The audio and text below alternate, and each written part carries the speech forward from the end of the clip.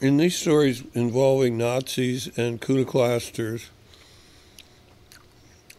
there is a certain suggested connection between Kunaclaster and anti Semitism and Nazis all through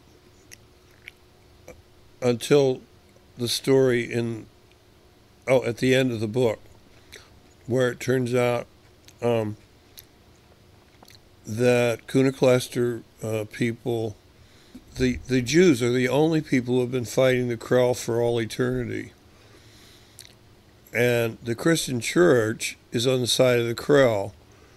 Uh, so this is resolved, but only at the end of the book. Um, does that make any sense? I tell the people I really love about the Kuna, the Kunaclaster, like that book I wrote to the Japanese girls over there. She sent it to me to save for her when she came over. She didn't want to take any chances losing it. Um, I could even read part of it to you if you want, but um, the concept of the Kunaclaster and actually going so far as to say that that it's not just an imaginary thing. It may have some, you know, there may be some reality in it. That is, there may be a real Kunaclaster. I don't know.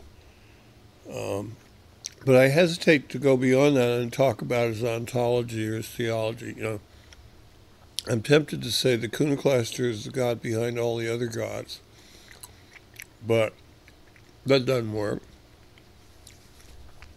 I'd say he's the god hidden amongst the other gods, but he's quite different because he um, he's the god of children and of creativity and so forth that we've been talking about.